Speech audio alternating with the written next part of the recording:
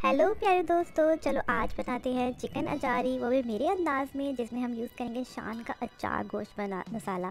Believe me बहुत मज़े का बनता है, बहुत ही ज़्यादा डिलीशियस बनता है। करना क्या है अपना, दो से तीन टेबल स्पून आपने लेमन जूस लेना है फ्रेश उसमें दो टेबल स्पून आपने अचारी मसाला ऐड करके, उसे पिर्चों में भर देना है। चैनल को ज़रूर सब्सक्राइब कीजिएगा और चैनल विज़िट भी कीजिएगा मज़ेदार रेसिपीज़ के लिए।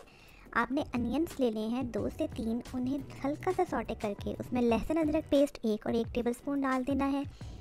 चिकन डाल के अच्छे से बुनाई करनी है, इसमें आपने ढेर सारा दही डाल देना है और जो बचा हुआ हमारा अचार कुछ मसाला है, वो भी आपने इसमें ऐड कर देना है। अच्छे से जब ऑयल आपका सेपरेट हो जाए तो टमाटो प्यूरी आपने डालनी है, जो कि मैंने आठ से दस टमाटर की ली है, और फिर आपने इसमें वो हरी मिर्चें रख के इनको दम दे देना है, और इस तरह मज़ेदार सी हमारी चिकन नजारी बहुत ही ज़बरदस्त ग्रेवी के साथ तैयार है।